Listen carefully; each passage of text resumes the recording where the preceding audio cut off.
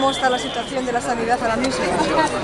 Pues está todavía muy complicada, muy complicada.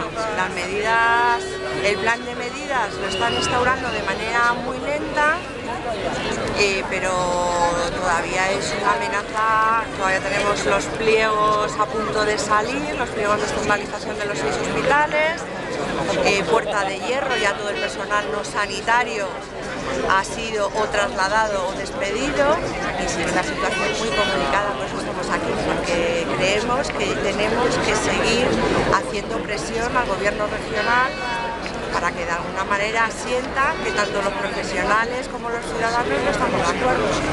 Muchísimas gracias. Muchísimas nada.